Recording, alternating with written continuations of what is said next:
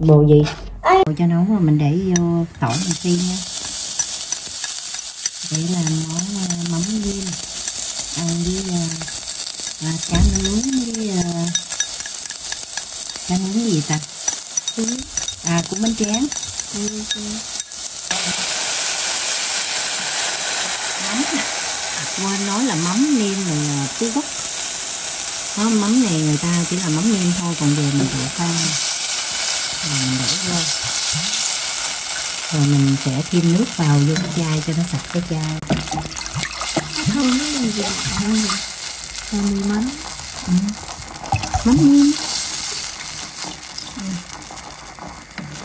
vậy lên cho nó sôi, rồi mình để đường mình để đường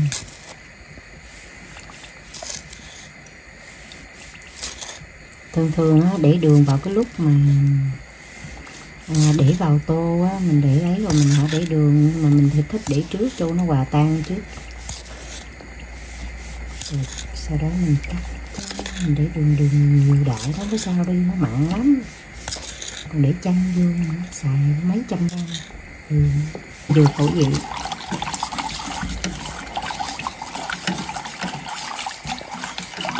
Rồi mình nấu sôi lên 5 phút rồi mình tắt nha. Mình đã có một tô thơm mình đã bằng rồi. Không được nhuyễn lắm cậy thì ăn cũng được. Quay cho một ống nha. Ống khô để vô mình thấy sôi rồi, mình tắt bếp. Ok. Rồi quay rồi, sau đó mình đổ cái vào tô thơm nha.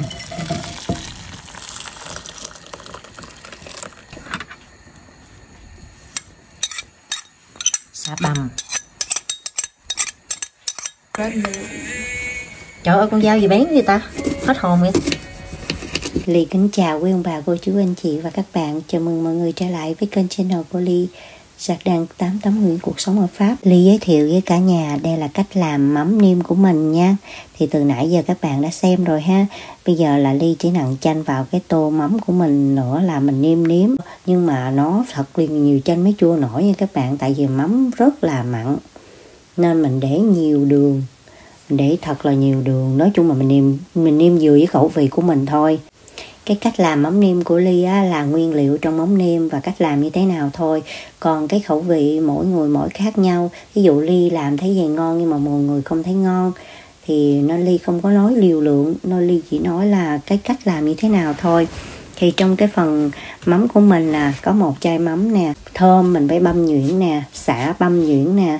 Rồi mình lúc mà mình đã phi tỏi rồi mình để mắm vào rồi đó để y chang ly vậy thôi. Rồi mình nêm đường chanh vào. Chỉ có vậy thôi, các bạn đơn giản. Còn mình ăn ớt thì để ớt vào nha. Bây giờ tô mắm mình đã làm xong rồi. Nhà mình ai cũng thích ăn hết á. Nước mắm là mắm mà tương để ăn cuốn nè. Nhà mình ai cũng mê hết. Bây giờ mình nướng cá nha. Mình tùy theo các bạn. Còn nhà mình là không có ướp gì hết. Mình chỉ nướng cá tươi thôi. Mình không có thích nướng vàng quá thì cái miếng cá nó sẽ bị khô khô, nó không có ngon. Nhưng mà ông xã thì mình lại thích vậy khi mình nướng cá mình để cái tầng cao nhất á, nó gần cái thanh mà lửa đó cái làm cho cái um, cái cá nó nhanh nó cũng chín nhưng mà nó sẽ vàng cái mặt. Còn mình để thấp quá đó nó cứ lâu vàng cái mặt thì nó lại chín bên trong nhiều quá luôn. Nó chín lâu quá thì nó khô con cá nó không có ngon. Mình thích thì vừa vừa cái đó là mình xuống mình canh ông xã mình à để thôi để cho ông xã mình mình đã từng làm một video rồi. Nó bị uh, con cá nó vàng quá, các bạn nhìn nó khô queo à. Không có ngon hấp dẫn gì hết. Nhưng mà ăn vẫn được, nhưng mà mình không thích vậy. Sau khi nướng cá là mình làm một chén mỡ hành nha các bạn. Mình để hành vào mỡ ha, nếu mình có thắng mỡ hoặc dầu. Rồi mình để vô cái microwave hay là cái lò vi sóng á, mình quay một phút. Mình để tí xíu muối tùy mình nếu thích nha. Rồi vậy mình để lên cá. Nhìn hấp dẫn ha các bạn ha. Rồi đậu phộng nữa nha đậu phộng để đâm nhuyễn á không cần nhuyễn đâu hơi nát nát thôi mình đổ lên. Ông xã mình thì thích món này lắm. Quyên về á, là mình hay bài đồ ăn nhiều hơn cho Quyên ăn. Thì lâu lâu đi sinh viên mà các bạn ở trên uh, Paris thì nó có đủ món ăn hết. Nhưng mà mỗi lần về nhà thì vẫn thích ăn những cái món ở nhà của mình làm nhiều hơn. Thì à, ly cũng giới thiệu cái cách làm ờ, mắm niêm á các bạn để mà mình ăn với uh, cuốn uh, như bò nhúng giấm hồi bữa là ly không có giới thiệu với cả nhà cái uh, cách làm.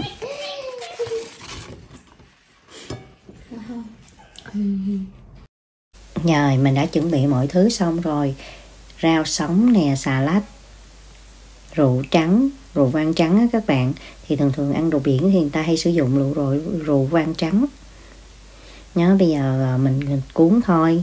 Thì loại rượu vang này mình chỉ vừa sử dụng là cũng như là uống cho khi ăn thôi các bạn Là mình uống chứ một ly, hai ly thôi chứ mình không có uống nhiều nha.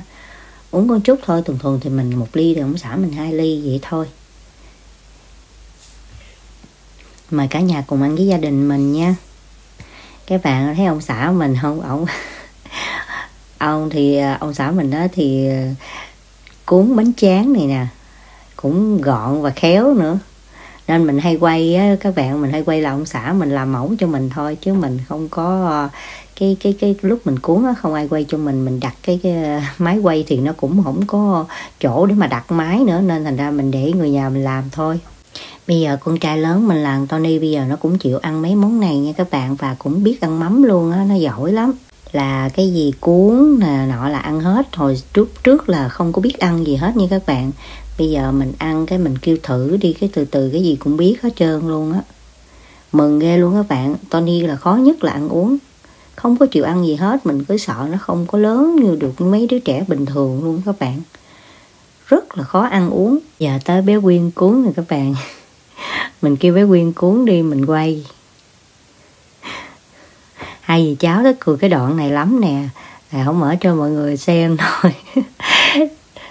Vui lắm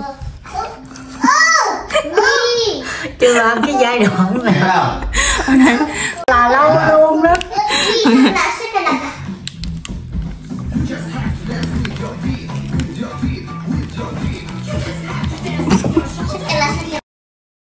Sau thời gian dài quyên cũng hoàn thành được cái cuốn cho mọi người xem. Cái đoạn này tại vì Ophelia nó bắt cái nhà của phim hình nó lên lớn nên các bạn nên mình bỏ cái mấy cái đoạn này ra rồi xong cái mình làm bánh cho quyên ăn. Nói chung là về nhà là mình cũng phải tranh thủ làm đủ thứ cho quyên ăn à. Tại vì quyên ở trên uh, paris thì đó mình nói với các bạn sinh viên chứ nói chung cái gì mình cũng mua mua á. Với lại ăn đôi khi cái khẩu vị nó nó không hợp lắm. Bởi vậy quyên á, không có thích ở pháp nhiều nha các bạn. Quyên chỉ thích đi học xong nhanh đặng đi về thôi. Đi về việt nam thôi.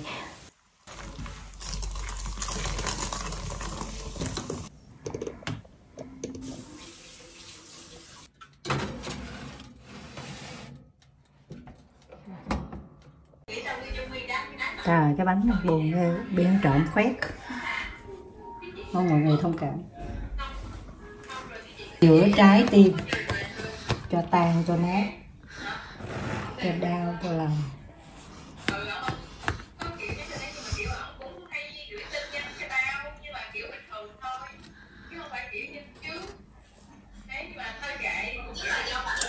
Nóng. Quay gì anh Ophelia nó mừng lắm lấy cái dĩa đi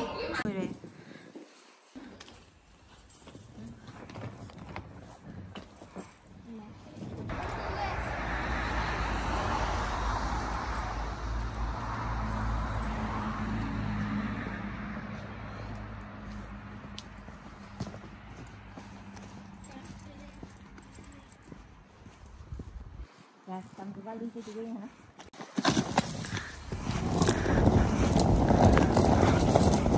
Người đẹp này đi chơi đâu ạ? Nặng không người đẹp. Tôi quay, để tôi kéo cho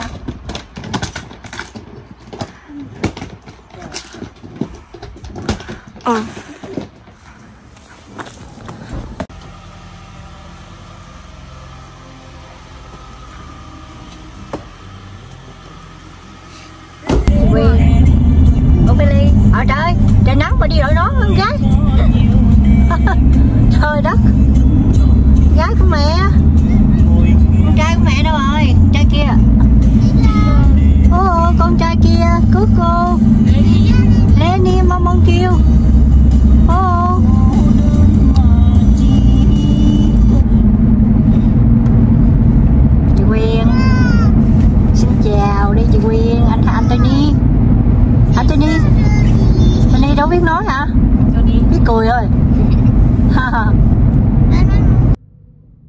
cứ như thông thường ha nay cả nhà mình á, là đưa Quyên trở về à, Paris. Thì mỗi lần á, Quyên về á, là Quyên cũng đi xe lửa về thì à, ông xã mình đi đón không à. Còn tại vì nhà mình làm đồ ăn á thì Quyên về đi như vậy rồi tới chừng đi thì cả nhà mình mới đưa đi. Cái à, cũng tùy theo lúc. Thí dụ mình rảnh thì cả nhà sẽ đưa Quyên đi. Thì bây giờ nay đưa Quyên đi đến nhà ga của Son nha các bạn. Thì Ly muốn giới thiệu cái nhà ga cho các bạn ờ,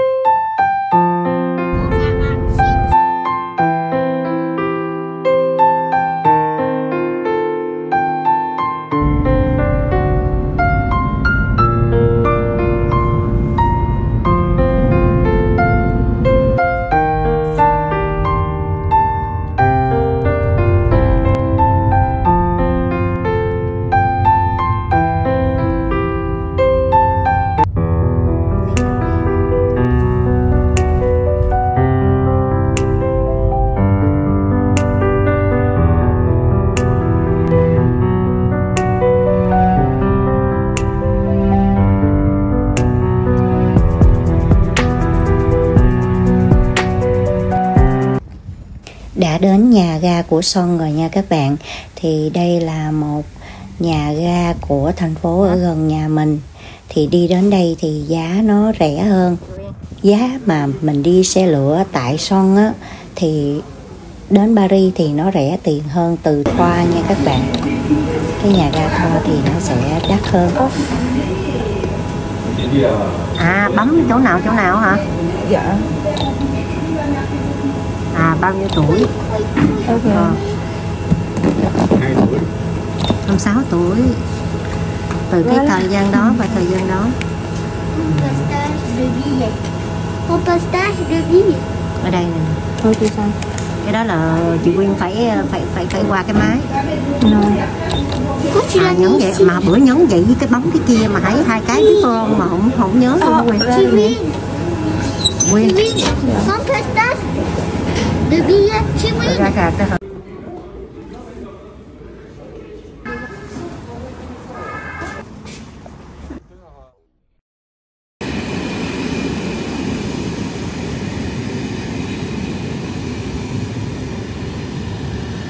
xấu vậy giờ mình mới biết đón xe lửa là mình đứng ở bên ngoài như thế này nè các bạn lúc trước mình cứ nghĩ là vô trong cái nhà mình thấy thấy trên phim á là trong cái nhà xe lửa nó sẽ chạy vô trong đó, mình đứng mình chờ.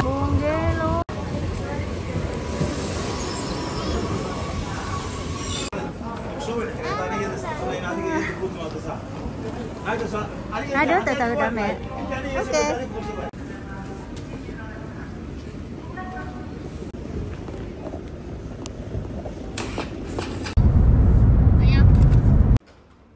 Lần này là mình đưa Quyên về là xong rồi ha các bạn. Rồi đây cũng là một chuyến đi của Quyên nữa. Đưa Quyên đi.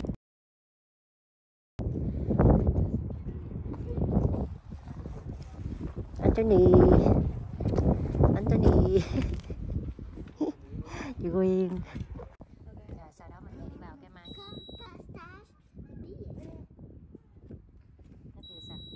cái thẻ hồi nãy khi mình mua ở trên rồi á các bạn. Mình mua tự động đó rồi bây giờ mình check in vô cái này trước khi mình lên ờ, xe lửa nha. Lần này đưa Quyên đi trời gió rất là nhiều nha các bạn nó rất là lạnh luôn đó. Lần trước mình đưa Quyên đi á các bạn mình canh chiếc xe lửa hoài không được ha. Kỳ này mình đứng mình canh cho bằng được nha. Để kỳ này nó hụt là không có quay được chiếc xe lửa. Kỳ rồi mình quay, mình đứng, mình canh ngược đường các bạn. Cái nó đi qua, sau lưng mình mình đâu có thấy đâu. Mình lúc đầu tiên mình đi, mình, lần đầu tiên mình biết ga như thế này á, khi đưa Quyên đi như vậy mình mới biết nha. Chứ mình không có rành. Lần trước là mình đưa Quyên đi ở ờ, ga Thoa ha, là mình chỉ đưa ga Thoa thôi rồi mình đi về, chứ mình không có đứng canh xe lửa như thế này. Thì ở đây mình đứng canh xe lửa luôn, rồi mình quay cho cả nhà mình xem và đưa thẻ như thế nào cạc thẻ như thế nào đó, cái checking khi mình mua vé như thế nào luôn đó. Mình có rành đâu, mình đi theo quyên quyên biết rồi quyên chỉ mình thôi.